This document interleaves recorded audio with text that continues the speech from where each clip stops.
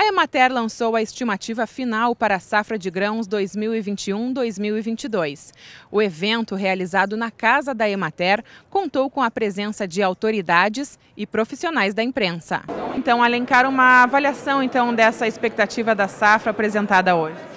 Na verdade, assim, é, uma, é um momento de preocupação, uh, em virtude principalmente do, do, da, da, da, intensidade que a estiagem se apresentou. Os números, eles, eles representam o, a média do Estado, mas nós temos municípios, regiões com enormes perdas, quer dizer, mais de 100 municípios com menos de 20 sacas por hectare de produção. Então nós temos muitos produtores que não vão produzir.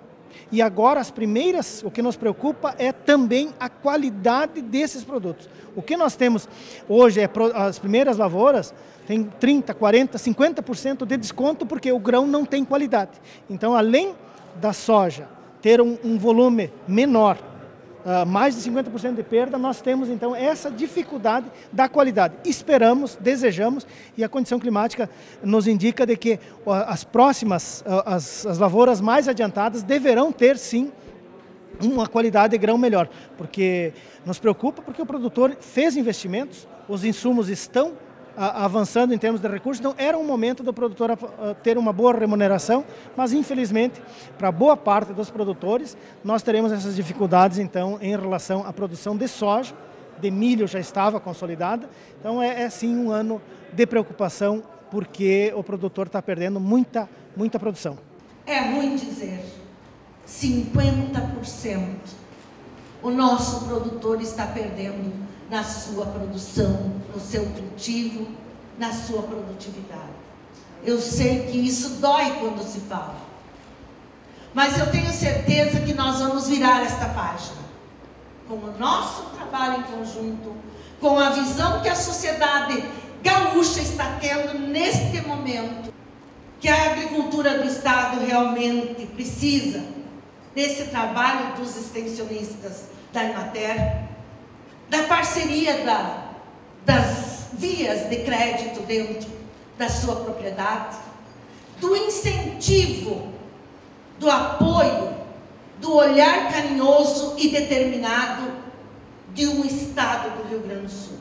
Segundo o levantamento realizado entre os dias 16 e 28 de fevereiro, em relação à estimativa inicial, que era de 33 milhões e 600 mil toneladas, haverá uma perda de pelo menos 41,9% na produção média estadual dos principais grãos de verão, com 19 milhões e meio de toneladas sendo 52,1% de perda na soja, 55,1% no milho, 36% no feijão primeira safra, 10,7% no feijão segunda safra e 4,5% no arroz. É um momento uh, de, de nós fazermos uma reflexão e melhorarmos cada vez mais a, a forma de, de, de, conduzir a lavoura, ter aquele tripé da gestão, do profissionalismo e do planejamento, mas se nós não tivermos o, o fator água, nós teremos essas dificuldades todos os anos.